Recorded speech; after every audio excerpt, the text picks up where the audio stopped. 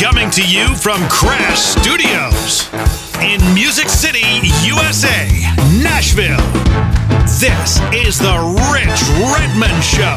On this episode, rising star, hilarious comedian who's always having a good time, Dusty Slay. And now, Rich Redmond. What is up, everyone? Rich Redmond here. This is another exciting episode of the Rich Redmond Show coming to you from sexy Nippers Corner, America. As always, I'm joined by my trusty sidekick, co-host, co-producer Jim McCarthy. Good to see you. How you doing, man? I'm doing well. You know, this is kind of a, a, a gag. Um, I've been well, I've been with you all day, actually, yes, yes. because when we're in town, we record four or five episodes a day. we knocked down the fourth wall just now. So, we totally did. Yeah. But um, I'm so excited because we have a funny man with us today, and he's taking the world by storm. He's been in Nashville six years. He's all over the boob tube. Really great guy. Funny man, Dusty Slay. How are you, my friend? Great. Thank you so much for coming and joining us. Thank you. Thanks for having me. Yeah. I bet you hear that every time someone says your name. That- Yeah, just cheers. Yeah. right. Just a crazy applause. Well, you're an upbeat guy. yeah. You're actually your bio says that you're that you're uh, overly enthusiastic and positive. Well, I try to stay. Po- I don't know. I didn't know my bio said that, but uh, Yeah, well, it says you're an observational comic, but you are definitely highly positive. yeah. Well, I try to stay positive. You know. I think that's good. I mean, keep it simple. There's, you know, there's that whole thing with comedy that it's it's darkness. yeah. Well, that's what people always say. They always say that we're sad and suicidal, and yeah, I don't feel that way at all. Not you. No, Not yet, I feel great. Yeah. I mean, yeah. Give it some time. But, Wait till the end of the show. yeah. You are you are a happy guy. Yeah. I mean, I used to work at the Home Depot back then. I felt a little sad, but uh, I didn't actually work for Home Depot, but I, I, was, I was in there. I'm so lucky because I'm not a handyman, so when I get it, I am lost when I go in there. yeah. Were you? They have signs. I know, but when you have to find a little widget that's very specific, you have to seek somebody with that orange vest. Yeah, and they're never, they're rarely hel- happy to help. Rarely. And trying to find one of those people with the orange vest is like trying to find Bigfoot or the Abominable Snowman or, or the Loch Ness. Yeah, I would was a sales rep for both the Lowe's and the Home Depot, and they say that they have the Lowe's walk, where it's where you walk real fast with your head down, so that you don't make eye contact With the customer. right? So no one can flag you down. What's the deal with Lowe's and Home Depot always being across the street from each other? Is it the same parent company? What is that? I don't know McDonald's what's happening. Yeah, they're just like Home Depot's like, oh, there's a Lowe's over there. Let's open up. Yeah, Let's- we'll sh- we'll show you. yeah, let's don't try to capitalize on business in another part of town. And there's a strategy behind Yeah. it. There is. Well, it's always it's always like the fast food Yeah, McDonald's and Burger King. right Same across the street from each other. Yeah, same colors. So, guys, this is you know this podcast we tr- we try to focus on. Yeah, we, def- we definitely try to accentuate the positive, but we're talking to musicians, producers, authors, thought leaders, and comedians. And you're a second comedian. We our first comedian we had was uh, Miss Victoria Jackson from Saturday Night Oh yeah, Live. yeah. I did a show with her one time. She lives in Nashville. Yeah. And I took a um, I took a comedy class with her, and she's she's so funny. She's so self deprecating. She thought she was a a horrible teacher. She turns out she's a fantastic teacher. She goes, I don't know how to teach it. So her, her thing is she we, she just got up and said. Five minutes of stand up comedy. Who wants to go? We had the little name tags on. She goes, Rich, five minutes. And I was like, I I didn't know we were doing stand up tonight. She goes, just start talking about something you know. So one of my day jobs is, um, you know, I'm a motivational speaker for corporate America. So I talk to, you know, Fortune 500 companies about how to be successful and have happy employees. And they usually are happy to listen because I play the drums and people love drums. People love drums. it's the man's, it's man's first instrument Yeah. you know so anyways i got up and she said just start talking about something you and so i started doing my kind of speech and then i grew into some other things and she's like you need to do a stand-up special about the back side of the music business, the back door of the music business, because there's no, been never been a comedian that has done something that's a musician. That's like you can't poop on the bus. I don't know if you know that, but I do know that. Yeah. I do know that. But yeah, uh, I think yeah. I mean, there was uh, Fred Armisen did a thing called Yeah. Stand Up For drummers. which I I don't know anything about drumming, but stand up for drummers. but I thought it was fun. I liked it. Yeah, And my favorite part is when he kind of went through the the history of the instrument. yeah. Um, great. You got a gig tonight, right? I do have a gig. Yeah, I'm Thanks at for- Zanies. Yeah. Yeah. Thanks for joining us all the way out here, man. Yeah, It's thank great. you. Yeah, this is great. I'm happy to be here. So uh, the show tonight, uh, this is it's going to be old news by the time this airs. But is is it a regular recurring thing you're doing at Zanies? Yeah, I do a monthly show. Oh, it's monthly, okay. Where I just try to bring in some comics that I know that are friends or people that I worked with, and then I headline. So That's great. And I just, uh, yeah, it gives me a chance to work on some new jokes. So they do the dirty work of warming everybody up, and then when everybody is nice and drunk, and you come out and kill. Yeah. it. Well, yeah, kind of. Yeah. But a lot of times, though, I'll host too. So Uh-huh. I, I bite the bullet at the beginning. Mm-hmm. I open the show and then I host all. I mean, I just, I'm very selfishly make it my whole show. That's great. Yeah. Then I pepper some people in. Yeah, well, I have the name written down here of the show. It's the Dusty Slay's Grand Old Comedy Show. That's right. Yeah. I ripped that name from the Grand Ole Opry. Now, haven't you been making appearances out there at the Grand Ole Opry? I have. I've done nine shows at the Grand Ole Opry. Now, that's a- actually you could say ten. I mean, I did nine nights. This past, I did the Ryman on Yeah. a Friday for the first time. It's such an iconic room. Yeah, I did two shows that night. I mean, did you pat yourself on the back and say, "Hey, this is good"? Yeah, I feel great. I mean, the first time I did the Opry, I mean, I couldn't even sleep. I went home and just listened to country music all night, and I just I love it. Yeah. And uh, now, um, you like traditional country music, right? You probably don't like my brand of country music. well, I like a lot of it. I mean, Some of it is bad. I like a you know I don't like to criticize any. I mean, some of it's just not for me. Right. But Well, I I, do like the old stuff. I mean, I like old everything though. I mean, '90s and back. I like '90s movies, '90s TV shows. I mean, I'm '90s and back. Okay, so you were telling me, is it public knowledge? Can I say your age?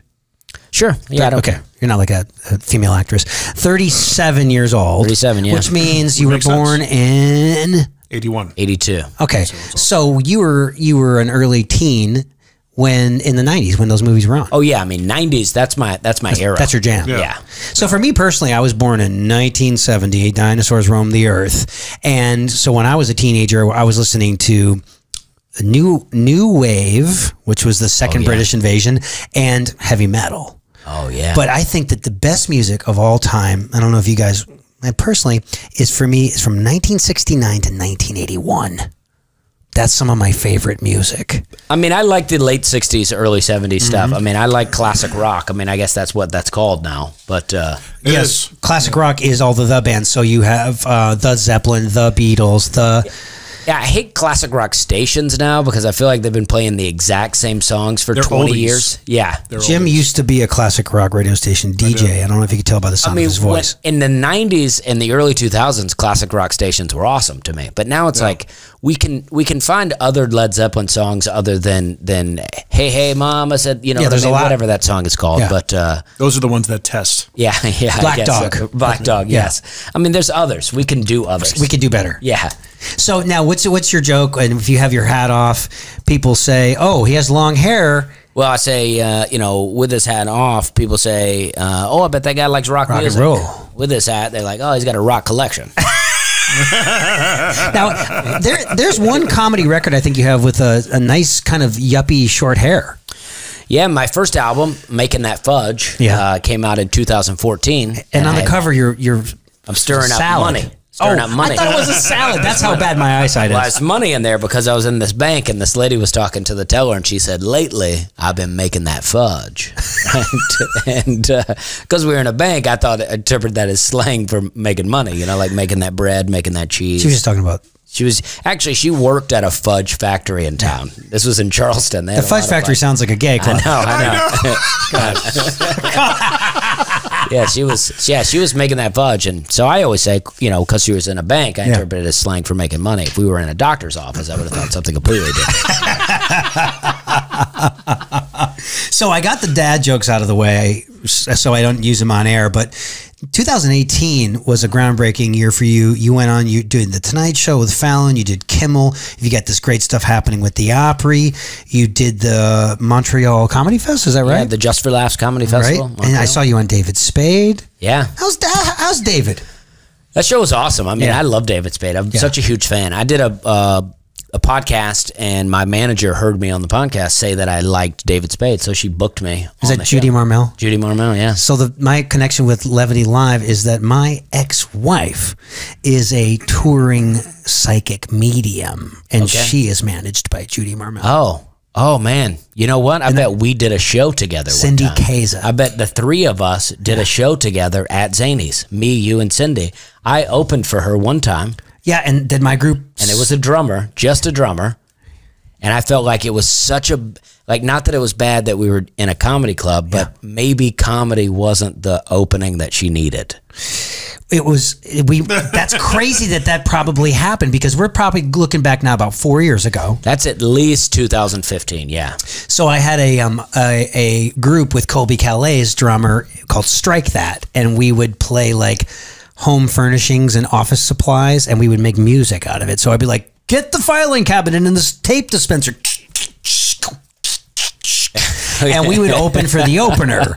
So that probably happened Yeah, bro. Yeah, wow. Yeah. that's crazy. Yeah, because I did that show and I thought afterwards, like people were crying in the audience, like not for my performance during Cindy's performance, and I thought. This is too emotional of an audience for the jokes that I just did. Yeah. They're in a fragile state. And here I am talking about working at the Home Depot. Know? they were in a fragile state because they're trying to, you know, contact their their lost ones. Yeah. Their lost ones. Yeah. And now what's going on with Nashville Squares? Because I saw the, the ad for this and and our song Crazy Town is actually it's either the theme or they're using to promote it. I don't know. I, I just filmed it. It's out in L.A. They filmed Nashville Oh, they filmed Squares in, in LA? In L.A. In and, Burbank? Uh, uh, yeah, Yeah. Burbank. And I, you know, I had a good time on it. I thought the show's fun. I mean, my episode, I had Marie Osmond, Gary Busey, uh, Bob Saget. Um, What's Gary Busey looking like these days? he's looking wild. Yeah. Yeah, yeah, he is not looking good. I think he used to play drums before he? he became an actor. Oh, okay. Yeah, with his teeth. There's a rumor going around like that.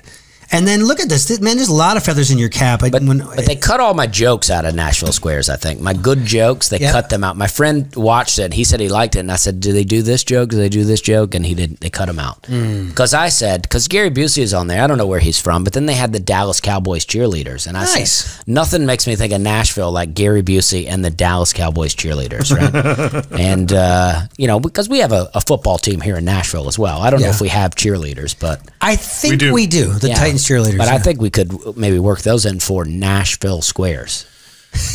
right? Right.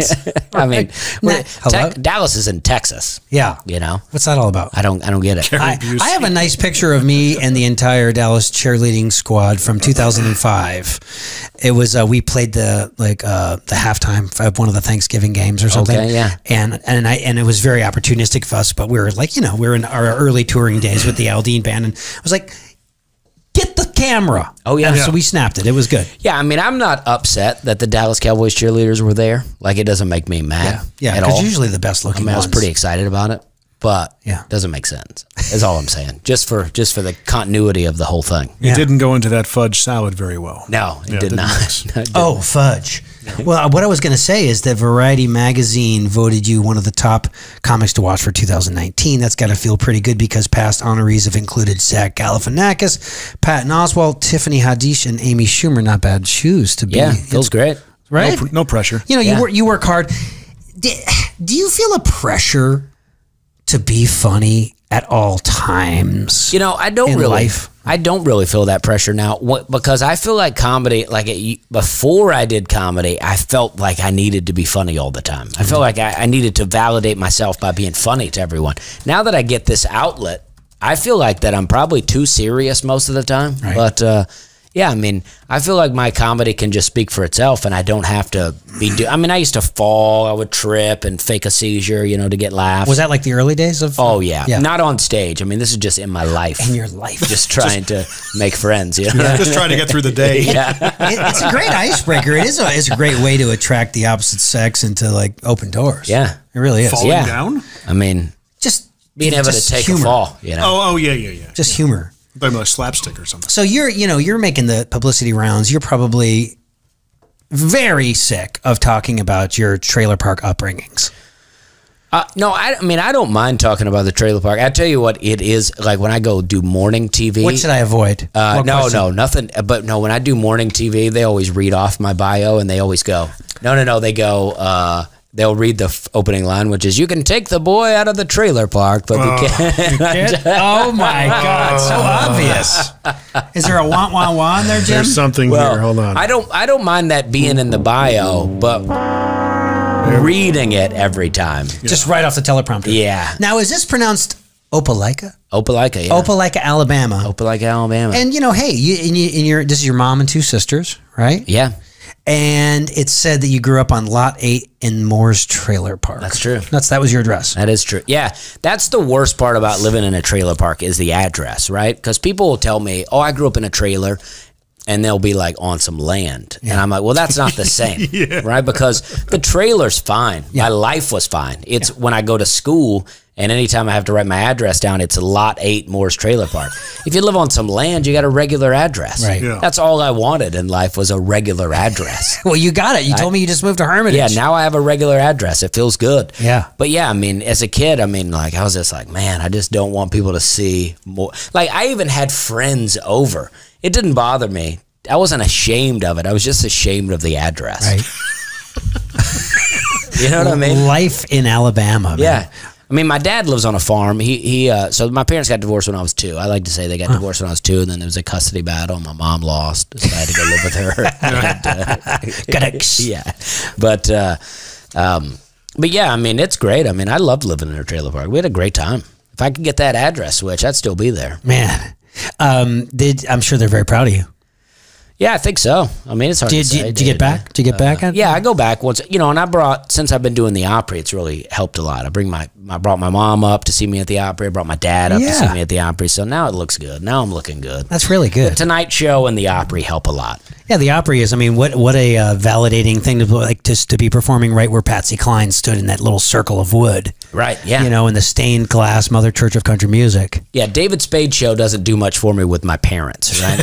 So like, who's David Spade? Right. I, I love Rules of Engagement. I Yeah. love that show. He Right. was such a little twerp. Actually, that's what my stepmom said. She was like, "Wasn't he on that?" Show? That's where she knows him from. Yeah. Rules of Engagement. Great show. Yeah, I never. I don't know that I ever watched that one. I just think of the Farley movies. Yeah, You know, Black Sheep. Mm-hmm.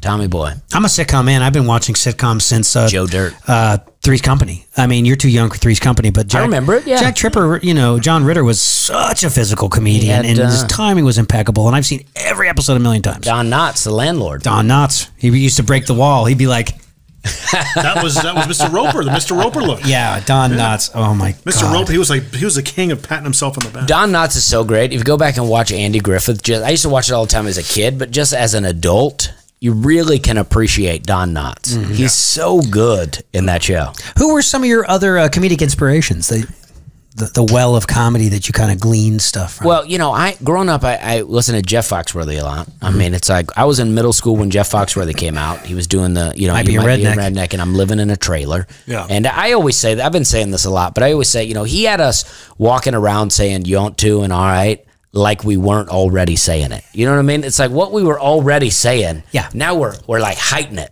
We're like when we're regular, we just say "you want to." We're like "you want to," like we're really putting emphasis. well, on he he brought that to the public awareness from people living in cities. Yeah, I mean, the thing that really blew my mind was the thing where he's like, you got some dogs in the yard, you run out on the porch and go, get on out of here, right? And it's like, that's exactly what we would say. right? Yeah. It's like, how do you nail it like that? Yeah, because Jim and I are both originally from Connecticut, but then when in 80, 81, I moved to El Paso, Texas. And so when you go to Texas, you are going to pick up on y'all. But I yeah. still feel like a lot of even uh, Easterners where uh, say y'all. It's just a thing. It's, it's Oh, an yeah. American thing. Yeah, I don't do y'all as much anymore. I used to do it all the Yeah. time, but then I waited tables and I just felt like I was saying y'all a million times. I'd be like, y'all need anything? Let me know if I can get y'all something. Yeah. Y'all doing okay? Yeah, y'all do. Yeah, and I just was saying it so much. I thought, Yeah. you know what? Let's let's try to use some other stuff once in a while. And then I started saying you guys, eh, and then everybody's offended now about you guys. So I might go back to y- y'all.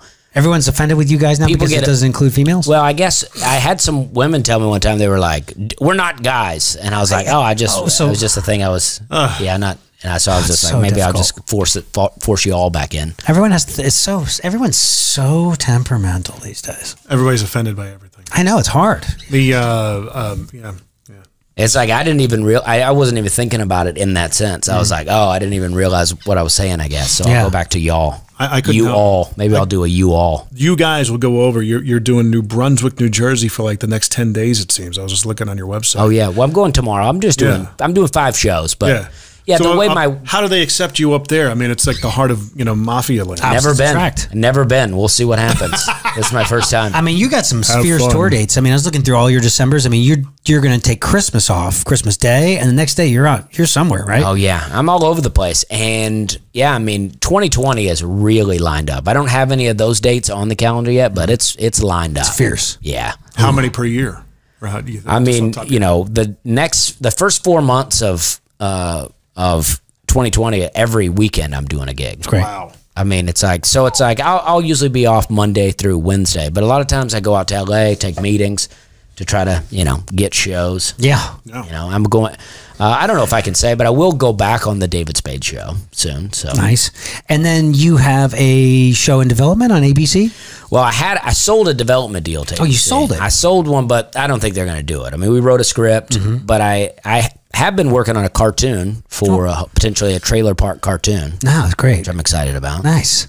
Yeah. Wow. I had a other show kind of working. We kind of pulled back on that just because we want to we want to do it the right way. I have a real I, real good idea for a restaurant show, and uh, it wasn't going the way that I wanted it to go. And I don't want to do it if it's not that way because I think it's I got it. I think it's a fun idea. So you sold the idea that you were working on with the guy from Santa Clarita Diet? Yes. Okay. Well, we sold the so they bought the development deal, and then we go write a script. I had never done this before, but so I learned all this. But Yeah. you know, so then you write a script, and then you get a bunch of notes, and then you make the changes, and then you get more notes, and then you make those changes, and then they go, ah, well, I don't think we're going to do it. And I'm like, oh, okay. Well, maybe we didn't make all those changes. So, and then they just made, they might put it on a shelf. It might come down again off the shelf. Yeah, it could. I mean, and actually, it was really great. I mean, I'd liked working with everyone. All the people at ABC, they were so nice. I mean, every time I went in, they were laughing. They loved it. They were like, one time they said, "We live, really love these characters you've created," and I'm like, "Well, these are real people."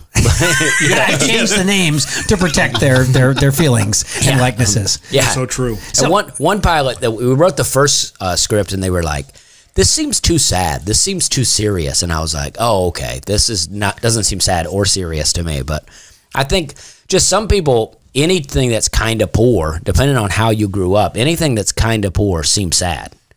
And uh, and so it's like my whole episode was like my sister got pregnant when she was like 19, which is not bad for Alabama. And uh, That's a late start. right but she uh, but she she's a very serious diabetic right so that she was not supposed to get pregnant right that was the you know so it was like that was the episode i thought that would be a good way to kind of get into kind of some stuff going on and they thought it was too serious Too Like, heavy. oh, yeah and i was like oh okay Yeah, because my I have a friend um, Tracy Katsky, and she was one of the executive producers on Santa Clarita Diet, and she's a bass player. She loves to slap at the bass. Yeah. and so I'll go over to her, you know, place, and we have these, you know, jam sessions. And next thing I know, there's all these like comedic actresses showing up from like Will and Grace, and you know, Oh, yeah. because they all like to sing and play music for fun. That's their hobby. And then here I am, and they're like, "What do you do?" I was like, "Oh, you know, I play this guy Jason Aldean." And they're like, "What? Oh my god, that's crazy!" And then they'll pull up a video of me playing or something. Like, "Oh my god, it looks like you love your life." I wish acting was like that because because it's so stop and go, stop and go, stop and go. We're Sarah. All right, breaking for lunch, resetting lights. Hurry up and wait. Yeah, there's a lot of oh, hurry yeah. up and wait. Um, yeah that's yeah i mean that's why i love nashville i think it's Yeah. great here so you're you're not gonna um, bite the bullet and, and move to sunny Los Angeles. You're gonna stay set up here. I don't want to move. I love it in Nashville. I mean, I you know I got uh, you know the Opry is starting a network. They are, you know, and uh, called the Circle. Wow. And uh, and we've That's already- great. Mm-hmm. We filmed some stand up stuff for that. I mean, I love it. I think Nashville's doing great things. I think a, a Netflix special will be on your horizon, right? Doesn't every great comedian work towards that? Well, I think so. I mean, I think some sort of special will come. Mm-hmm. I mean, I haven't filmed it, but I'm I'm also not in any rush. I don't feel any pressure for anything. Yeah. I feel. I mean, my calendar's lined up. I feel great about my stand up. I'm I'm not in any rush. I feel good about every. I mean, you know, I'm doing colleges. I'm doing corporate gigs. I'm doing clubs. I love it. yeah. I mean, I'm doing festivals. There's any kind of stand up. I'm doing it. Right. Now you've got that 90 minutes of stage time every night. What's how's the road treating you? Because like you know, as a touring musician, it's like you know that idle time could be the devil's playground. You know. Oh yeah, I mean it gets boring. Yeah. but I don't drink or anything like that. I quit drinking a while back, which is great for me. That was good for you. yeah, But what, because what were the telltale signs? You're like, I need to. Is that a funny story? Or well, yeah, I mean, uh, who knows? I mean, but I, I just, you know, I used to. I, there's just no off switch for me. Once I get started, I'm just drinking, and I, you know, I'm always having a good time, and then suddenly I'm not. Right? Suddenly, me and my friend used to call it going to the dark side. Right? It was like mm. where you would. Was it brown? Was it the brown stuff? yeah, you, well, yeah, I mean anything really. But what would happen is I'd start off with a few beers, we're having a good time, and then I'd do a couple of shots, and then we're like, we're really having a good time, and then suddenly one shot just sends you into this place where your eyes just kind of gloss over, and it seems like you're there, you're awake, but you're not, you're not in there Yeah. anymore. A lot of times I would black out, but still, you know, still be living, living Yeah. life, blacked out. Missing But, whole but you don't know, and then you have to get the information from your friends. This, Right. Do you know what you did last night? Oh, I got that so much. Yeah. And we used to party. I mean, we loved it. I mean, it was such a good time. But I, you know, at the at the, I just started feeling bad. I got I got pretty heavy, and I was smoking a lot of cigarettes, and I couldn't even tie my shoes without getting winded. And I thought, you know what? Let's give it a break. Let's give Yeah. it. Eh, Did you just do it like cold turkey, or did you go to Yeah, I just Friends quit- of Bill? Or I quit both. Actually, I quit smoking and drinking the same day, and then I um, I dipped for about three days. Wow. I used to alternate. I'd smoke till my lungs hurt, and then I would dip till my lungs healed, and then I would. Uh, and then, but I, I dipped, and then it, the dip was not doing me right either. So I ended up three days after that, I gave it up, and then that was seven years ago. and we were talking about cigars. Good for you. Yeah, we were talking about cigars. Are those out of the picture too? Well, they've been out for about six months. I mean, I love cigars. So I was, you know, I was doing what we were talking about Schwarzenegger. I mean, I was Right. doing the cigar a day, Cigar a day. Schwarzenegger thing, and uh, man, I love it. I like to go do a show. Once my show's done, go out on a patio somewhere, just have a cigar, reflect on the night. Unwind. Yeah, it's fun. It's very yeah. I need it. I need to slow down. I need something like that. The problem is, I just don't want the doctor to have to come along and cut my tongue out. That wouldn't be oh, very Oh, Yeah, good. No, but I, you know, I like day drinking. That's my, the most fun on a sunny day. That's the only time I miss drinking is on a hot day on a patio somewhere. I'm like, I'd love some drinks. After right you've mowed the lawn, Yeah, Oh yeah, mowing the lawn or great feeling. doing nothing. Now, aren't you married to a, a, a, a an actress? Well, my my wife is she was an actress a long time in Canada, Mm-hmm. uh, and then she moved down here, and she was doing a little stand up in in Toronto. She moved down here, started working the road like me, and the road just burned her out. I mean, she was doing really good Yeah. on the road, but she just kind of got burned out of all the travel. That's so much. So she's taking a break. Yeah. And uh, but she's uh, she's she's kind of toying with the idea of maybe getting back into it. Yeah, and you guys are sometimes on a podcast together. We're having a good time. Yeah, we're having a good time. Dusty Slay and Hannah Hogan. yeah, I've been a little slack on my podcast lately, but uh, No, I, I, I- and I like how all the episodes are like three things, like Harrison Ford, cigars, and menstruation. It's like yeah. three things. Yeah. But three is always the golden rule in Yeah. comedy, anyways, I try to t- I try to get people. I try to entice them, right? Yeah. Like what what is it? you had me at menstruation. I mean, come on. Yeah. So, but also, God, it was that was a that could be a horrible segue. Menstruation really makes me think about our sponsor. But no, I think a better segue is we were talking about your comedic inspiration and people you draw inspiration Oh, yeah. from. And like for me, you know, I when when I was coming up and I was learning music from some great some great teachers, um, I'm a product of music education, and it makes me think about our sponsor. School of Rock. Are you Yeah. familiar with School of Rock? School of Rock, yeah. Yeah, remember Jack Black, the Yes, movie? yes. It's based on a real life thing where these schools are now there's 250 of these locations. Wow. 80,000 kids from age 3 to 18. They can sign up, they learn how to sing, they learn how to play bass, guitar, keyboards and drums. They go out and they learn the craft of music making by making music in public places. They do concerts and our friends Angie and Kelly McCrite are here at the Nashville and Franklin School of Rock. They want your kids to sign up, man. They drop your kids off. Folks, you're looking for a great babysitting situation, a little free time for yourself. Pull up the minivan in front of the School of Rock.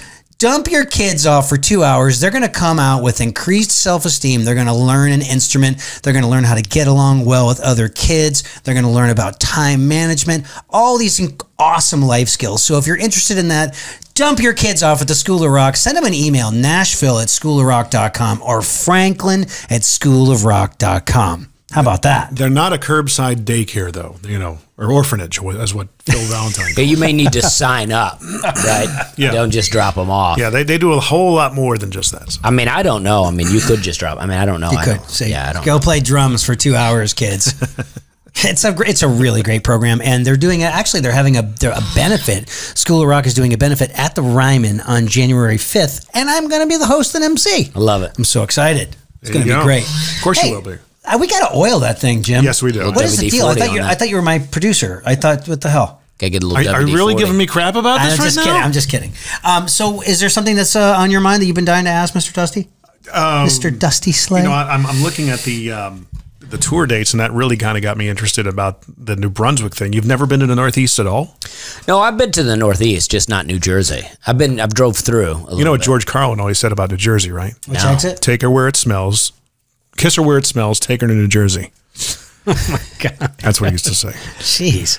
But Yeah, New was- Brunswick is. Uh, I I that, I used to stomp around that area. Well, they say the Stress Factory is great. I did the Stress Factory in Bridgeport, Connecticut. Yeah. Which, uh, Oh my gosh. Which was uh, Fun. Bridgeport seemed like a bit of a rough city. I'm It's, from um, Milford. You're from where? Uh, Danbury. Danbury, Connecticut, Milford, Connecticut. I've done Hartford, Funny Bone in Hartford, and now I've done Stress Factory in Bridgeport. Yeah. Bridgeport seemed like a rough place. It's it's one of those places that if The they give you was fun. directions, it'd be like, okay, go down this street, and at that light, you're going to see, you're going to make a left. It's going to say, do not enter, but go down that street anyway. That's that kind of a city. Okay. Yeah. Well, the club was great. I loved it. So, but the Stress Factory in New Brunswick is the original. So it's supposed to. The Bridgeport's pretty new. So I'm pumped to go. Stress Factory. Stress Factory. Yeah. Yeah. It'd be uh, Salt Lake, Salt Lake City. Salt uh, Lake City, yeah. Wise guys. Yeah, I'll be there soon. I like Utah. Yeah, guys, check out uh, dustyslay.com. It's all right there. Yeah, I got all kind of stuff on there. I got videos. I do a lot of stuff on YouTube. I do some on the road uh, Yeah. where I do some travel videos. I do it all myself.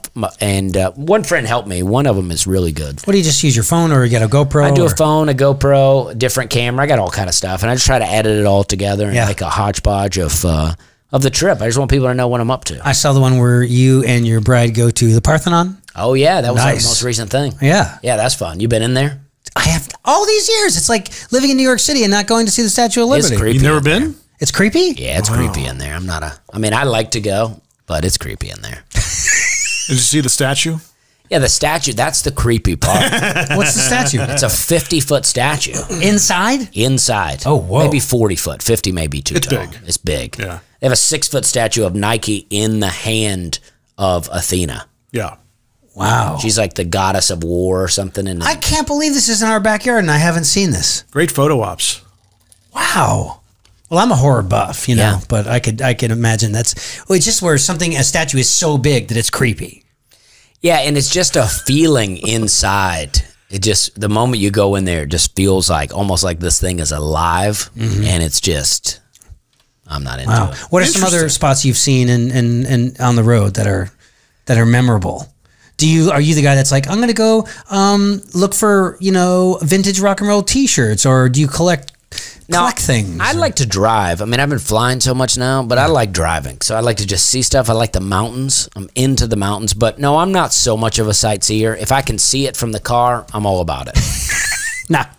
yeah. I mean, but yeah, I mean, I, you know, I travel so much now that it's like, I don't know. I, I just like to, I like to see weird stuff. Mm-hmm. I like to see just things that I, I, I like to see like what, what you would say, like what the locals do. Mm-hmm. Right. I don't like touristy stuff so much. Yeah. You know, New York City, I'll do all the touristy stuff. Chicago, I'll do that. Yeah, I always try to find out what the locals do. Yeah. I don't have that kind of time when I, you know, my my kind of modus operandi on the road is for the last 20 years has been, you know, we'll pull into city at like eight or nine in the morning, and then we have a sound check at three, and then dinner at five, and then probably some sort of a VIP show at seven acoustically, and then I hit the stage at 9:15. So between 9 a.m. and 3 p.m., that's where I'll go like teach drum lessons at the local drum shop or go speak speak to some kids at a college or a high school and with all the back and forth I, my time is gone I'm, i don't oh, get a time to do anything super fun maybe get get a workout in go try to find a plan of fitness or something like that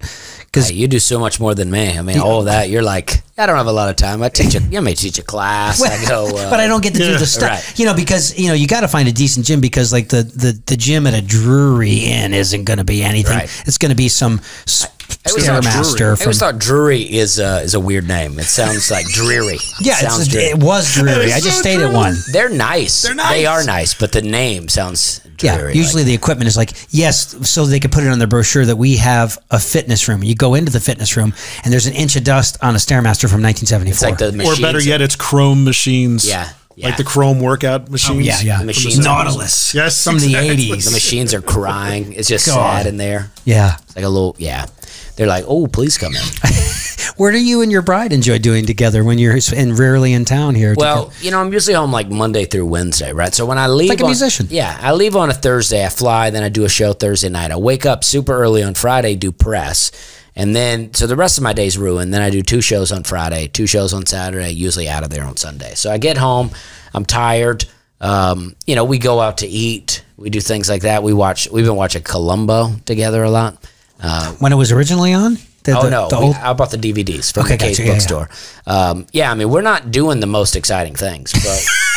it reminds me of the activities when I was married. Yeah, it's- my, my entire life is like performing Mm-hmm. and entertaining people. When I'm home, I love to do nothing. Yeah. I love to get out in the yard and dig around out there. That's why I just moved into a house. I've been been living in an apartment for a while. Now I'm able to get out in the outside. you're a homeowner. This is American dream. Able and you brought a home hedges. with comedy. yes, You know what I mean? It's like That the same true. thing, like a being a musician. You know, it's Yeah. like the same path. it's And- true. I mean, it's been a good year. I mean, 2018, 2019. I mean, I picked up uh, management and agents, and they really uh, turned my whole career uh, around. I mean, all these things are the Tonight Show, and uh, it's been it's really turned it around. What for me. was it like standing a foot behind those curtains that are that are about to swing open and millions are watching? Were you cool with it? What were you thinking? I mean, the first time I did the Tonight Show, I mean, I was so nervous. Mm-hmm. I mean, I think that, I mean, the guy, the booker for the Tonight Show, I mean, I, I we got along great. He really liked me. I think he had full confidence in me. Yes. But seeing me right before I was about to go out, I think he was beginning to lose confidence in me. I just was so nervous because I'm like, I just want to get this right. Did you did you do your your set over and over Oh, and totally, over and over? Yeah. totally. So, but the moment the curtain opens, Mm-hmm. the nerve, the nerves turn into adrenaline, and I'm like, all right, Yes. now we get into it. Now let's do it. Let's. We're here for a purpose. Let's make it happen. So ten, yeah, ten feet away is the first row of people, and Jimmy's right there, four feet away, and Questlove is three feet away on your left. Yes. Is Jimmy watching the performance? Oh yeah, he's right out there watching. Yeah, I mean everybody is right there. I mean, yeah, you're right. The whole band, the Roots are right there, Yeah. and uh, but you know, by the time I went back the second time, I had uh, you know I'd already done this. You conquered it. So it's like the nervousness was almost completely gone. Right. It's just like the Opry. I mean, the first time I did the Opry, I mean, I was so nervous, and then after it, every time now I'm like, hey, you know, I've done this. Let's go do it. When you do the Opry, are there musical acts on there as well, or is it just your show? Oh yeah, full on showcase. I mean, it'll be. It could be like one time I was there it was Neal McCoy and then me. And uh, well, he's a funny guy. He I know can do stand up. Neal McCoy kind of ruined it for me that night, I think, because he really He's good. he was good and he really got like because I'm used to you know like a serious like it's almost better if it's a super serious performance before me, Mm-hmm. and then I get to go out and kind of break that up. But Neal McCoy was out in the audience and he was just doing a thing. What a showman. I know, and I was like, oh okay. I gotta have him on the show. I gotta have he's because he's a funny guy. He's a great entertainer. Yeah, he's a he's, he's a great entertainer. he was great. singer. I mean, yeah. So Yeah. when I say he ruined it for me, I mean he just he just was a performer. I mean, Yeah, he, he rocked it. So my my joke, actually, this time at the Ryman, I thought Mike Snider. I don't know if you ever seen Mike Snider at the Opry, but uh, Yeah, Mike Snider. he plays banjo and Yes. does uh, he does, but he he did some jokes. He was crushing it. a banjo playing funny man. Yeah, like Steve Martin. Yes. Yeah, Yeah. Did you see that special with him and um, uh, Martin, Martin? Short. Yeah, Martin Short. I didn't see it. They just kind of roast each other the entire time. I mean, I you know I had Steve Martin albums, and it's like I, I always like like listening to Steve Martin, but seeing him for some reason is different, Mm-hmm. unless it's in a movie, you know. But uh, Let's Get Small is an album I really like. Yeah. that's an inspiration for me. Steve Martin, Let's Get Small, such a good album. So just kind of off the the wall, show notes. not talking about anything. Like, I mean, that's my whole agenda with comedy, right? My agenda is to have no agenda, to just be telling jokes, right? I'm not trying to teach you anything. You're not, I'm not trying to. I'm not trying to educate you. I'm just out there to tell jokes. Mm-hmm. Yeah. And that's what Steve Martin was all about. That I mm-hmm. loved. Mm-hmm. And your comedy is relatively universal in the sense that it is mostly family friendly. There's a couple of you know masturbation things and stuff, but it's like okay, but, Yeah. But I think I feel almost feel like you could be cl- completely clean if you. Oh yeah, to. I don't even do those jokes. I always called them my lotion jokes. I don't The even lotion jokes, yeah. I don't even do those in my act anymore. They're- I, they're- yeah. Mm-hmm. I like them. I think they're very funny. I think it's the cleanest uh, jerk off jokes that you could have. Uh, totally. but Yeah. I don't do them anymore. You know, I just kind of let that go, and it it is mostly clean. I make drug references. I make some vague. Yeah, but they, you're not dropping f bombs and stuff. Oh no, Yeah. no. Well, just just for the layman, for some people who are unfamiliar, what are the uh, the clean jerk off jokes? Oh well, now well, I'll tell you the one. I'll tell you the one. Right, I said, and I haven't told it in a while, so I may mess this up. But I said, uh, you know, I had a. Um, uh, oh no, and I don't even know if I can remember it. But I had a guy. He was he was talking about watching some adult films. Right, he was a younger comic. I saw him on stage. He was talking about watching some adult films, and he was complaining about how slow the download speeds were. Oh yeah. and it really blew my mind because the first time I watched it. Uh, it was on a VHS tape, and my biggest complaint was having to rewind it back to the place where my dad left it at. And the joke there, see, people can take that to a gross place if they want. Yeah. But the joke is that I found my dad's tapes. We weren't sharing a tape, Yeah. right? And you also got to see what turned your dad on, which is kind of exactly, exactly. He's like, he wasn't like, yeah, you can use it, but rewind it back. No, it wasn't like that. You want to hear something really weird? I have a story for you. Speaking of adult films, I had a buddy of mine that had a film of his parents, oh, gross. Oh no! and he played it for us. Oh, gross. what kind of friend is this? What kind of friends are you keeping? Isn't that weird? This is when I was like, you know, 13, 14 He years stumbled old. ac- across, and he would play it for us. That's gross. And they say, And his mom wasn't bad looking. Let me tell you something. and he's like, "That's my dad." well, right, for, for you guys watching it, it's probably a pretty good time. But he'd sit there and watch it with us. That's that was gross. weird. You guys are. Uh, His mom was hot, though? Yeah. Yeah, that's pretty, that's a pretty good time. That, that, that I, yeah, that's, That's I, so fr- I completely forgot about the Was story. this guy not very cool? Like he was trying to get No, no, he was, he was kind of a cool dude. I mean, he was, uh, kind of like a sort of neighborhood bully in a way, but it, once you got to know him, he was okay. Oh, so in a sense, he's bullying his parents here too. he's like, It was, it was just one of those things. I, I mean, I, I think back to that. I'm going, wow, I don't, if I ever stumbled across something like that, the last people I'd be showing are my friends. Yeah. I don't, I don't want to, I want to try and unsee that. yeah, you can't You know? see it. Yeah. Oh my gosh. So for a comic, oh, that is weird. That's one of the weirdest things. it's a little, it was a little strange. do, There's, there's some material for you if you ever want to use it. Uh, I don't know how I would. do you sell T-shirts? you sell I T-shirts? do have t-shirts. Yeah. Yeah. Okay. I took them off my store because I get tired of going to the post office. Uh, I never have good interactions in there. Like it'll be three dollars one day, the next day it's seven bucks. I try to ask them and they lecture me. So I'm like, you know what? I'm just not coming back here. So Yeah. it's, my store is still around, but you have to search for it. It's not on my website. oh, but at live shows, do you travel around? Oh yeah, the- yeah. I got shirts. I got hats. I got. You ship it ahead? No, I, I got. I'm, I'm platinum pro with American Airlines. Yeah. now, so I get two free check bags. Nice. and uh, so I just take a merch bag and my.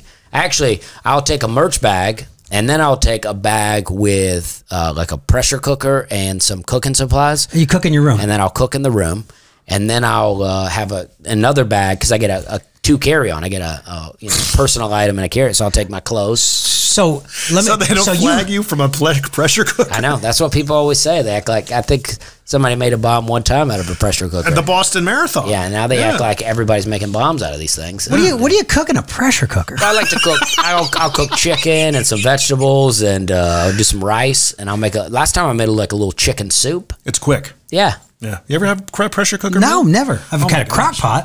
Well, crock pot. crock It's like a crock pot, but faster. Yeah, it forces the heat and the moisture in. But but so you but so you're you're you're flying to this new city. You got a hotel. Your day is free until you unless you're doing press, and so you have to get an Uber or a taxi to the store to get your supplies to cook your dinner. Sometimes I'll walk depending on how. Far Okay, gotcha, gotcha. Yeah. Yeah. Yeah, But I will get an Uber. Yeah, I'll go down there and get some. I'll hit to the Trader Joe's and uh, yeah, and then I'll film it right, and then I put out this content. that's Yeah. great. Cooking in the kitchen. That's smart. I got So- one on my Instagram, a little video. I got another one that I'm about to release. Yeah. Speaking of cooking in the kitchen, I'm smelling something. Bills. Oh yeah. Well, we're having fun here, guys. We but are. hey, we got some bills to pay, so we'll be right back. The Rich Redmond Show will be right back. Learn learn by doing, I definitely think resonates with what we're about here at the School of Rock. I'm Angie McCright, and I'm the owner of the School of Rock in Franklin and Nashville. I would say that the majority of kids that come in have either been sitting in their bedrooms watching YouTube, learning how to play, or they've taken music lessons at some point in their life. We do have a lot of beginners. It doesn't matter what level you're at. You can participate in our programs whether you're a beginner or you're advanced. We don't teach music to put on shows, we put on shows to teach music. Connect with School of Rock today. Search School of Rock Franklin or Nashville. This is the Rich Redmond Show. All right, we're back, guys. We are having some laughs here at Crash Studio. Um, you know, uh, this thing with American Airlines, you have to be a Platinum Pro member to become an equal with Southwest Airlines. For any Joe that travels on Southwest Airlines, you get two free bags and two carry-ons. Well, this is what I don't like about Southwest is this this idea that you don't get to pick your own seat. yeah, you just first come first serve. I don't like that. I'm Yeah. not a fan of that. Now I'm an A list, which means I will get an aisle. yeah. Right. You get to go first. Yeah. I get to go first. Right. So, I mean, had I went first with Southwest, and maybe I will once I, because you know it expires over time. I think you got to reset. I don't know. I can't imagine they just let it build up forever. Then everybody's platinum pro. They, they won't. I just became platinum pro. I was platinum for a while, and I got two free bags with platinum, and you get one free bag immediately. Yeah. When you sign up for the card. But You just put everything on the card. yeah, Yeah. I mean everything's on the card. That way it keeps a real record, and then I'm building up. I got so many miles. I mean, man, I mean, I didn't fly a lot as a, at growing up, you know. So Mm-hmm. now I'm like I'm like a real pro with flying. For a while, I was like a real road dog. I really learned to work the road. Now I learned to work the airlines. That's to- yes. So- You're in the air a lot, man. You, airborne. That's what I do. Airborne and Emergen-C because, Oh, yeah. and then a lot of hand sanitizer. oh yeah, I mean, big time. Unless you know you you might have a super strong immune system. You're just Oh, like roll it. Roll yeah. I don't know. I don't really do any of that. I'm big into the CBD, and uh, Yeah? I'll uh, I'll use that for flights. like oil or and that feels good. Yeah, a little oil, you know, that you eat, and uh, you Mm-hmm. know, CBD or you know whatever, and uh, it's a good time. And uh, you know, so that's what I like. I don't have any problems flying. I don't get sick. I don't feel like I, you know, I'm not afraid of germs. I don't really, I don't really get sick a lot. Yeah. Once in a while, I'll, you know, I'll get food poisoning or something from some crap that I ate somewhere. Taco truck. Yeah, I actually was eating a taco, and I bit. I was eat. I ate about half of it. and I looked in, and the ground beef was like still raw. I threw up that day, and uh, Was it because you knew it was raw? I don't know. I don't, it's hard to say. I mean, instantly I felt nauseous, Oh no. but I threw up like a couple of hours later. And I don't throw. I used to throw up every day because I would drink a lot, and then I would. Uh, I just either throw up before I went to sleep or wake up and throw up because I never was. I had to make myself throw up because I would just black out. I think that's either what happens. Either you throw up or you black out. Mm-hmm. And I was a, I was a blackout guy. Is blacking out same as fainting? No. Well, it's like passing out? fainting. It's like your mind faints, but your body's still fine. Your body is partying, but you don't remember big chunks of your evening. Oh, okay, okay. Like I went to one time. I lived in Charleston, South Carolina, for ten years. That's where I grew up in Alabama. I lived in Charleston, and then I, I, I went to. I was in like let's say I was on the west side of town, and it was daylight, and I was driving to the east side of town. Mm-hmm. The next thing I know, I'm I wake up driving back to the west side. I woke up hitting a curb and puncturing my tire. I had no idea where I had been or where I was going. You were sleep driving. I was sleep driving, but like blackout drunk driving. You ever, uh, you ever drive when Got lucky. Drive under marijuana. The marijuana. I, have done that a couple times. Yeah, it's tough to say. Yeah, I mean, you know, I mean, Don't call the guy out. That's a tough question. No, no, I've, I've done that. We'll talk about that afterwards. but um, I, um, no, I mean, I used to drink and drive all the time. Like, right? Like, I'm not. I mean, I was lucky. I flipped a car once, landed in, in into a marsh, landed on the roof of the car. I Had to crawl out the window. Yeah. and I I lost my flip flops. Cause I was living in Charleston. It was tropical. I wore a lot of Everything is tropical. Yeah, flip-flops. And I lost my glasses, so I'm blind. I'm drunk. I'm shoeless. It's December. I'm a little wet. And uh, this guy and my buddy's with me. His head's bleeding, and this guy pulls up. He's like, "You need to ride home?" I mean, my car is right out there in the ditch. He's just like, "You need a ride home?" We were like, "Yeah, we do." And he took us home. We went to sleep. Woke up the next morning, dealt with it. He was your drunk driving angel. Yes, he was. Yeah. It was amazing. Yeah, I mean, I've had all kinds of incidents like that, but I never hurt anyone. I barely hurt myself. I've been beat up. Uh, you know, I used to drink a lot, got beat up a couple of times. Start fights. Yeah, yeah, um, of course. Man, yeah, it's probably good you you quit. It was I mean, after I'm- that one shot. Yeah, I mean, I'm mouthy. I mean, yeah, it's it's many shots, but you always blame the one. Right? It's the problem is shots. I just if you if you're think if you're sticking to you know co- traditional cocktails, I think you're okay. Well, the thing is, I don't know how I would be now, right? Because Yeah. I quit drinking at 29, right? Mm-hmm. So, I mean, I may be in complete control, but Yeah. The uh, the information that I have at hand says that I'll be worse than I was. Everybody I know that quit drinking that went back to drinking is worse. They're a total wreck now. Oh no. They have more money to spend on it. Yeah, that's exactly right. So I don't need that in my life. Um, I feel great. Yeah. Good, good, for, for you, you. man. Yeah. Yeah, That's awesome. And and Charleston is where you tried your hand at at improv. Did you start with improv? I started comedy with improv, and then uh, yeah, then moved to stand up from there. First time I ever did stand up, I was in overalls, no shoes. That's that was my character that I chose to be. and and and so there were some, some stumbles, and when you were trying to find your voice. Yeah, well, I had a couple of good sets early Right. on, and then I started, you know, I started bombing a little bit. So then I started drinking before I went up, Uh-oh. and then I had some moderate success. I would bomb a little bit, have a little bit, and eventually I just quit. I was like, this is not fun for me. You you have to bomb as a comic, right? Oh, yeah. To I bomb- learn. yeah, I mean, I've bombed so many times. Like people, uh, like when I try to give them advice or something, people just seem to think that I've just always been the comic that I am now. Right. And then I show them old videos of me, and they go, "Oh." And then they'll say, "Well, this gives me a lot of hope." And I'm like, yeah, it should. I didn't start off this. Good. I mean, I always had good delivery, mm-hmm. but I wasn't good. I mean, I always knew how to tell a joke. I could always tell a joke, Yeah. Street jokes and stuff like that. I could, I could always do it. But I mean, that's that was some of my most fun drinking is getting together with buddies and just telling the street jokes that you know. Mm-hmm. That was so fun. But I couldn't write jokes. None of my jokes. I just make up all these crazy, wild things, and Yeah. they were rarely funny.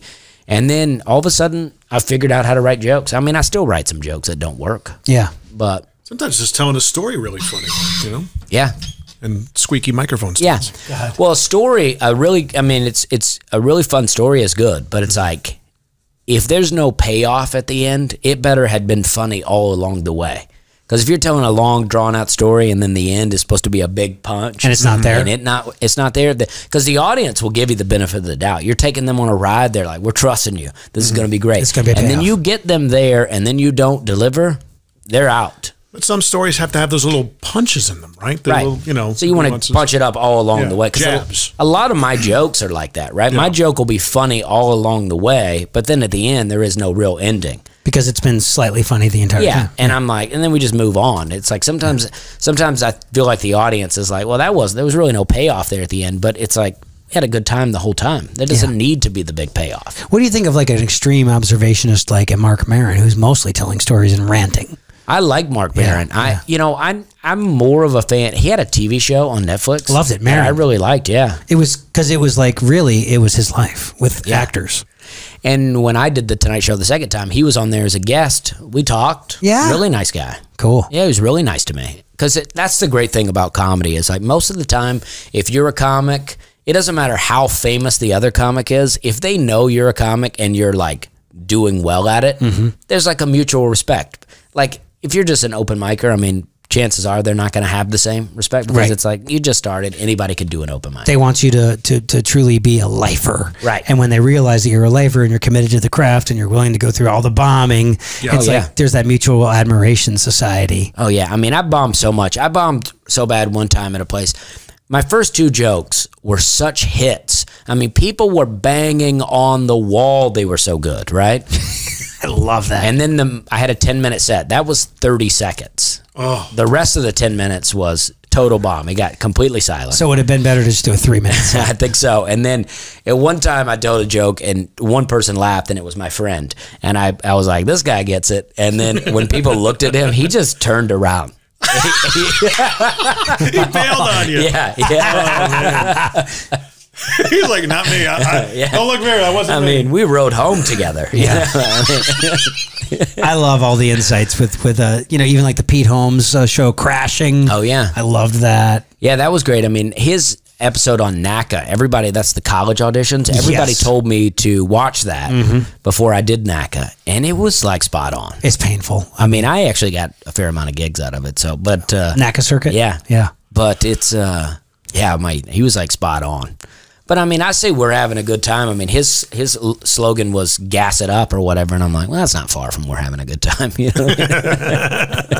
Gas it up. Pedal to the metal. yeah, Yeah. yeah. Uh, with bombing, though, I mean, you know, do you ever? What was coming up? What, what would go through your mind after that night? You know, like, am I really meant to do this? Is that you have those kind of doubts creep in? Oh yeah, I mean, those doubts can still come in even now, Right. But it's like, you know, after back- all the validation, too. Yeah, back then it was it was harder because yeah, you would bomb and it was like it might be your only show that week. Right. So you're like you go out and you think uh, you know I'd be single. I hope you know hope to meet meet meet a girl or something after. I'm like I hope this goes well and then and then you bomb and it's like because when you do well, people come up to you. They go, oh man, that was really great. Let me buy you a drink. Let's hang out. Let's bomb, you they know don't tell you. you bomb like people.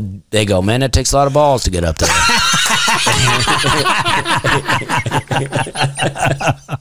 Oh my god. But so you got to go through it. I Yeah. would, I would not want to bomb. Oh my god. But You've you've had like Rich has had.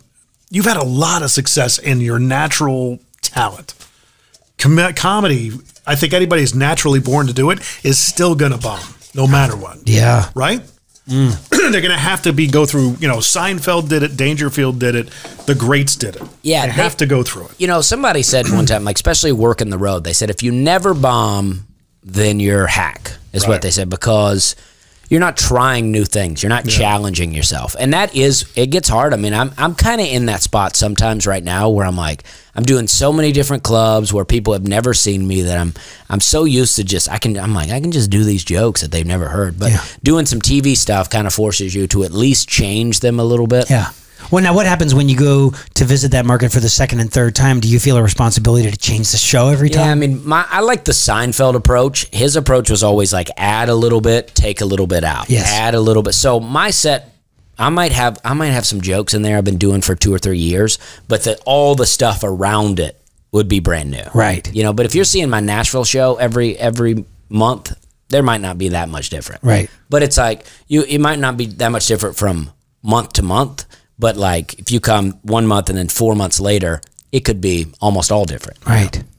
Yeah, you know the, the, just the bravery involved in just going out on that stage. I took a, um, I am uh, Upright Citizens Brigade level one funny. I took a, uh, Oh, yeah. I took an improv class. Oh, yeah. uh, in Hollywood. So my, you know, I'm surrounded by these people that are really serious about it, and they're like, and there was like series regulars on television shows, and they're like, "What do you do?" And I'm like, "I'm a musician. I've been playing drums since 1976." And they're like, "Oh, okay." And then you just throw it, you just jump into the deep end of the pool with these people, you know? Oh, yeah. And um, and then I I just uh, took a two week comedy intensive with a with a teacher in Los Angeles named Leslie Kahn, and she's Sebastian Maniscalco's uh, coach Okay. comedy coach. Yeah.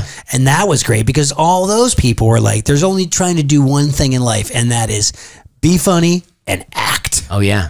And so I grew immensely in those two weeks. Yeah, improv is intense too, especially in those cities. I mean, it is like that is I mean, the most elitist type crowd Oh, is yeah. the improv people. It's yeah, you got the um, you got the Groundlings, and you got Second City, and you got UCB, and they all have their own cult rules and and uh, philosophies and Oh, yeah. clubs, and you know it takes about eight or nine years to become a um, Groundlings top level performer. It's like.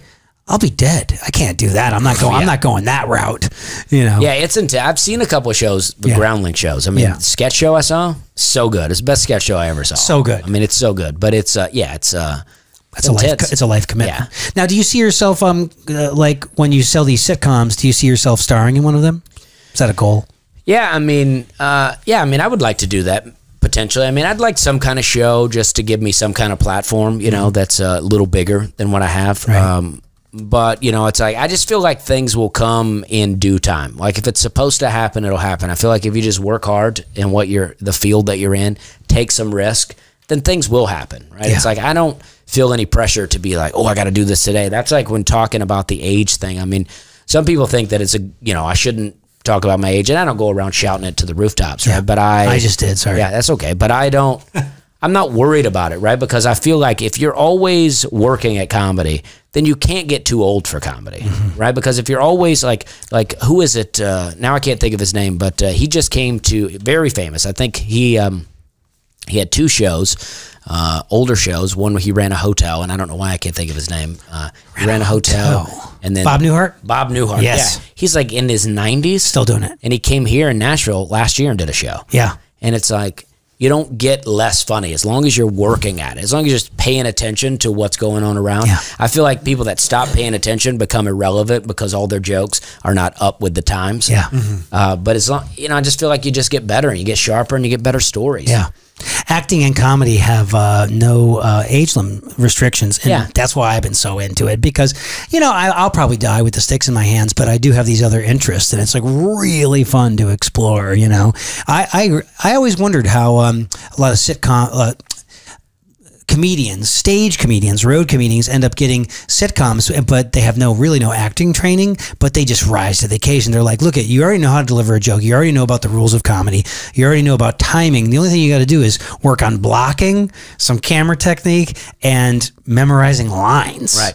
And so you learn pretty quick when you're doing that in front of a live audience. Yeah, that's what my manager told me. She was like, uh, she was like, you know, don't worry about. Because I told her I was like, I don't know if I can act well enough to be in a show. She said, don't worry about that. You know, we'll, we'll get you that. We'll get you acting coaches. Yeah, don't worry they're about out that. there. And I've done lots of improv. Like I can do some acting, Mm-hmm. but that's what I always I always said to her. I was like, maybe I'll just do a, uh, maybe I'll write the show, but I'll be a side character. She was like, don't worry about that. She was like, Roseanne wasn't an actor either until you know, but as the seasons progressed, she got better and better. Yeah. you know, For sure. Yeah, It's bound to happen. yeah. I love all those shows, the Mike, the Mike and Molly's, and the all the Chuck Lorre shows are just so Yeah. epic. They're so good. The writing is so great. Yeah, I mean the shows that I'm into, like they're a little older. Like Seinfeld, I love. I just bought some DVDs of that, and I've been I've been crushing that. I love that. Uh, um, the Office is great. Fantastic. The Office. Uh, King of Queens with uh, Loved it. Uh, it's so good. Jerry Stiller, I could watch Jerry Stiller all day. His timing, oh my god.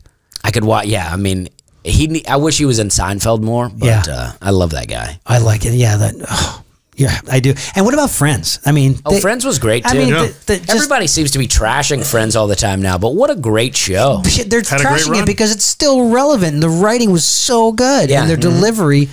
You know, there's- those actors are still making fifty grand a day, Wow, a day for the last fifteen years for doing nothing. wow, That's incredible. that is incredible. That's like the holy. Ah. And that's why you don't. That's why you don't see, except for Jennifer Aniston. That's why you don't see them in a lot of. Yeah. stuff. it's tough to be motivated when you're making fifty grand a day. I mean, Jennifer Aniston went on to just crush. oh yeah, horrible bosses. I mean, she, She was yeah, great. she, in oh my that. God, she was. at home and that. those girls were not ugly. no. Well, and she's willing. She's almost willing to make fun of herself and putting her, herself in a role like that. Mm-hmm. Yeah. you know, not a very flattering role. Yeah. you know. She looked So- good in it though. Oh, she looked great in it, but I mean, the the character she played was kind Right. of. Were you more of a. Jennifer Aniston guy or a Courteney Cox guy? Well, it's hard to say. I really liked uh, Ace Ventura. Yeah. And uh, Courteney Cox, you know, was the love interest in the first. And Mm-hmm. I always liked her. And, you know, she was also in the movie Masters of the Universe, which was the He Man movie. Yeah, with Dolph Lundgren. Yeah. yeah. I missed that. But Yeah. she was also dancing with Bruce Springsteen and Dancing in Yeah, the Dark. she was. Yeah. So I like Courteney, but but physically, I mean, I always liked Jennifer Aniston Yeah. best. I was a Phoebe guy. Were you? Really? You quirky weirdo. Yeah, she was you know long blonde hair, and Mm-hmm. it's kind of my thing. She was super smart. She She's was super cute. smart in real life. Yeah, yeah, she is. Your your process. I'm I'm curious to ask about what. When do you get the inspiration to notify something? Okay, there's something there to to work. Is there? Do you sit down and do it, or does it just happen? Well, I try to write down notes all the time. Just write something down if I think something's funny, and then I just go back to it and try to try to write it. And it's like I always make. I got little, you know, like little notes here that I always do, and it's just like a little. Oh, on thing. paper. Dead trees. Well, I'll do a little bit. I'll do a little paper, a little little phone, you know, and I just kind of write stuff down, and then I try to try to throw one of these out in a show once in a while. See if it works. yeah, see what see what happens. You know, I'm and- not a big fan of when I go to like the you know the Hollywood Improv or or uh, the comedy what is it? The comedy, uh, the comedy store. Yeah. So I go and I go to the small room, you know, where they're kind of working out material, and every comic just has their phone in their hand, but because they get to looking at their notepad, but it looks like they're reading their messages. It's like, Yeah. it, it's very distracting. I don't like it either. Get a piece of or like a, a note card or something. Right. You know, just That's what I do. I like to do a whole thing here, and then I don't you like know, the phone. Then I got you know Cracker Barrel jokes and uh, stuff like that. And Yeah. some of these I took a lot of my jokes that weren't really working. I made them tweets, and some of them do really well. Oh, you But do I- the funny tweets. But I, st- I try to. I mean, but uh, You know what's funny about Cracker Barrel that I just learned? What? I talked to somebody who was a server, and she said that if you can do Cracker Barrel, you can work anywhere. I heard that too. That's interesting. I know girls that used to work there, and they said that used they used to cry all the time. Cracker Barrel. Wait a minute. Wait a minute. They're saying that if you can work there, if you can handle if you can it. handle Cracker Barrel, you can hand you can work at Cracker Barrel's the New York City of restaurants. There you go, write that down. oh, because the menu is so large. I don't know. It's- or is it because it's got, it's got old crotchety people as the main clientele? I do have want to no write idea. that down. That's a good Guys, one, right? we are we are writing jokes on the Rich Redmond Show. This comedy is great. gold born. Comedy gold. Um, so let me ask you this right now: What's the cover tonight? If I give you ten dollars right now, can I come to the show tonight? I mean, I'll let you come. Can The- I come? The cover is fifteen dollars. I'll, Okay, I'll, I'll okay. put you on the I got fifteen dollars with me right now. Yeah, well, yeah. I mean, I can't. I can't come do your show and then make you pay for mine. Well, no, I'll, I'll, I'll pay. Okay. Yeah, but I want to come. Yeah, it's fif- But, fifteen bucks. but I'm going to go and, sit at the uh, bar by myself like some loser. But no, I'm going to go. I Yeah. want. I want to go. Yeah, it's it's at a seven p.m. show. Comic because you wanted me to come with him and I can't. Seven p.m. sharp. Seven p.m. sharp. All right, and Yeah. I'm looking at a good uh, two hours. Ninety minutes. Okay. Yeah. You're gonna have a couple Because there's, cocktails. there's two shows tonight. Yeah. So there's one after mine. So normally I go a bit long yeah. at the Z- Nashville show because it's fun. But uh, So there's another show that's not yours at nine o'clock. yes. Okay. Now the last time I was at Zanies, I saw Sinbad. Oh yeah. Classic. Sinbad's great. He did over two hours, man.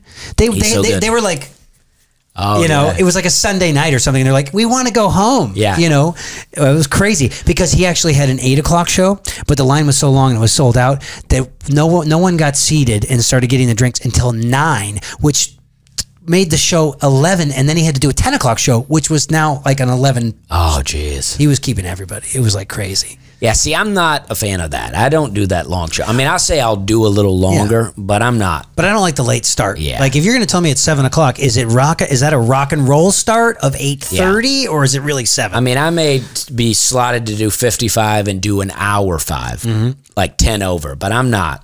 I'm not going all night like that. Now, does your uh, monthly thing at Zanies is that on the same night of the month every time or different? Different, usually a Wednesday, usually Okay. a Wednesday, but different. Like I have November 13th, which is today, and Right. I have December 18th. Nice. So Okay, I am coming. So uh, this is a you know a kind of a fun growing uh, platform for people to uh, sell their wares and talk about their products. Uh, what's uh, anything you want to tell our, our listeners? Well, I mean, I, I mean, I'm really trying to push my YouTube channel because Yeah. I like these videos that I'm doing. I don't see anybody doing this sort of thing where I'm. It's a it'll it'll be a film of like my whole travels. Like I'll I'll show a little bit of me be doing morning TV, a little bit of what I'm seeing on the road, a little bit of my comedy, a little you know, I like them. and uh, I'll do. I have a thing that I do like Resort Dusty, where if I get a nice hotel and they give me a robe, I'll put the robe on and I'll Order room service. and I'll you know point out things in the room. And so is this iMovie? Just drop it into iMovie. I do. Well, I've just got Final Cut. Whoa, you're getting fancy. Yeah, so I'm I'm pretty fancy. now. Okay, nice. Yeah. So Wow. and yeah, and I got a tour that I'll be doing in 2020. That'll be dropping soon. Yes. The information on that. So DustySlay.com. And what is the YouTube uh, address? just Dusty Slay. I mean, it'll be whatever the YouTube stuff is slash Dusty Slay. YouTube.com forward slash Dusty Slay. That's it. Man, you're a delight. You're a, you. a very got a nice positive energy, and I can't wait to see your comedy tonight. Well, I appreciate that. I really am excited. And your publicist is is she local? She's not local. She lives in Nebraska, I believe. Because she's great. She is She great. got right back to Jim. Yeah, she's great. Yeah. Really nice. So shout out to your publicist. Mm-hmm. yeah. Man, thanks so much for being here. Yeah. man. Spoke to her on the phone, having too. I really look forward to it, and Yeah, we're so proud you. that you're making Nashville proud, man. Well, I'm happy to be here in Nashville, and I love this, and I hope to do more Nashville stuff. I mean, I love it here. So. Fantastic, Jim. Did you have a good time? I did. What'd you learn? I learned that this is a very funny man, and that any craft in life is going to take the sweat of your brow, and you might have some missteps, but and you just dust yourself off and you look forward to bombing with a smile on your face.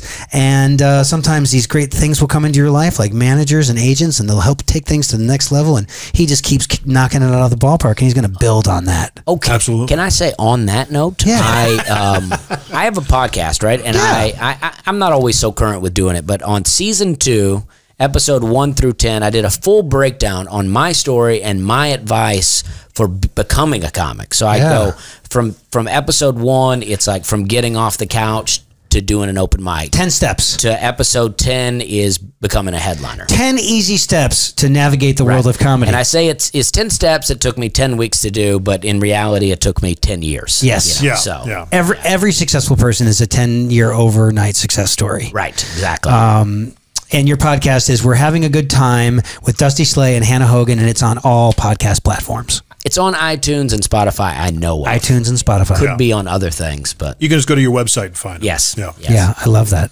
And Jim, what did you learn? I learned that there's a difference between blacking out and passing out. Well, the fact that you just learned that now says that you've really taken care of yourself. He's a responsible. He's a very I just, I just drinker. recently passed out, but not because of drinking, because I, I overexerted myself. Oh. And I did it in front of my kids and oh, fell off no. the chair. And What do you mean everything. you overexerted yourself? I was doing a bike ride and I came back and I felt like the nausea. You know you get the nausea coming on when you overdo it? Yeah. And you're like, Yeah. I, just- need to sit, get some water in me. And then all of a sudden, the next thing I knew, I, I felt like I took a nap and I woke up on the floor. Wow. And my everyone was yelling and Courtney was in my face. Yeah. Jim. Oh yeah. Oh, uh, wow. man. You know, the first thing was is that you know my kids were. I heard my wife yelling, and I was thinking to myself, "What did the kids do? What did I do?" And then all of a sudden, I wake up and she's in my face yelling at me, and I'm like, "Oh crap! What did I do?" Yeah. you were just you were just probably underslept and under uh, It was uh, hydrated yeah, I was uh, dehydrated. for sure. Yeah. Oh man. Yeah. This was so fun. I can't wait to come to the show tonight. Guys, as always, thanks for tuning in. We really appreciate it. Be sure to subscribe, share, rate, and review. It only takes one minute. And if you have guest suggestions or you just want us to tell us what you like about the show, what you don't like about the show, uh, I have an email address for you, The Rich Redmond Show at gmail.com. As always, I appreciate all your time and talent, my Thank friend. you. The show wouldn't happen without you. And keep coming back for the good stuff, guys. We appreciate it. We'll see you next time. This has been The Rich Redmond Show. Subscribe, rate, and follow along at richredmond.com forward slash podcasts.